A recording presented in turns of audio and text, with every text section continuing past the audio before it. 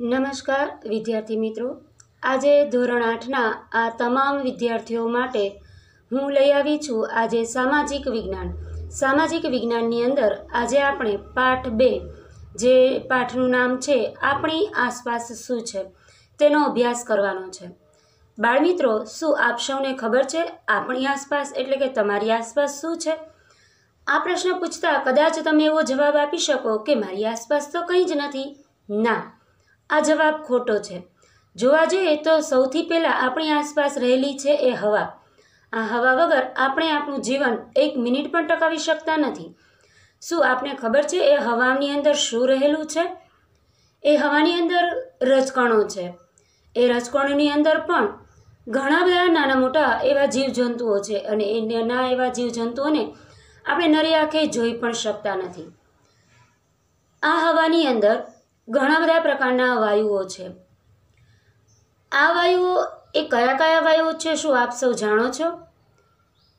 એ ઘણા બધા પ્રકારના વાયુઓ હોય છે.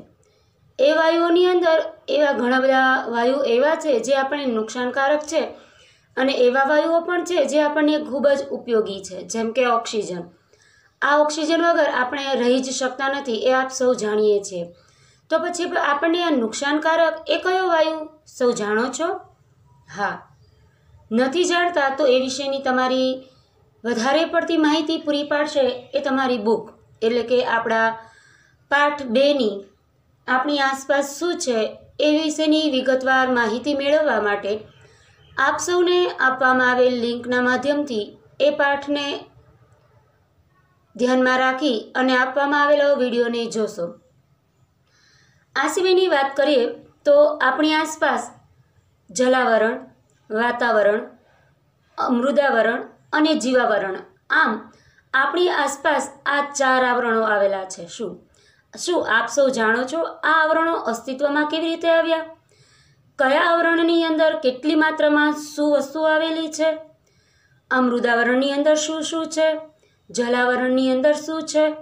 મૃદાવરણની અંદર અને જીવાવરણની અંદર શું છે?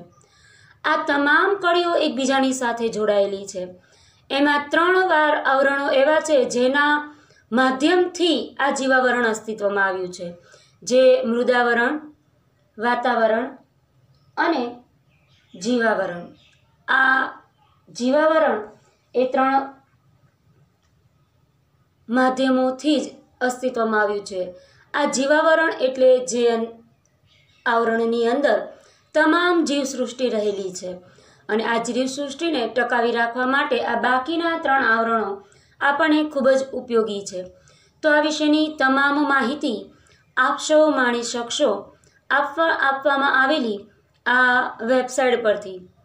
આ વેબસાઇટની અંદર આપવામાં આવેલ પાઠ બેની સમજૂતી વિગતવાર સમજી લીધા બાદ આપ સૌને હોમવર્ક કરવાનું છે.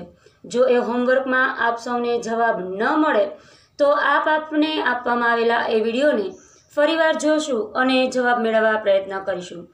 અને એ હોમવર્ક કર્યા બાદ આપ સૌએ આના પછીના બીજા પીરિયડની અંદર પ્રસારિત કરવામાં આવેલ વિડીયોના અંદર આપણે આપ સૌનું હોમવર્ક ચકાસવાનું રહેશે.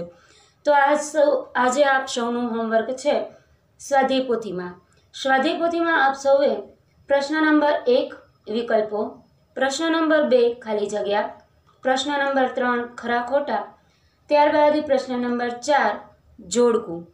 આટલું કરીને રાખવાનું રહેશે. આપ સૌ માટે, એટલે કે આપ સૌ તો આઠમા ધોરણના મોટા વિદ્યાર્થીઓ છો, એટલે બસ થોડી જ ટાઈમનું આ કામ છે. આ તૈયાર કરી અને આવતા પીરિયડની અંદર આપણે આ હોમવર્કને ચકાશું અને આગળ જશું. નમસ્કાર.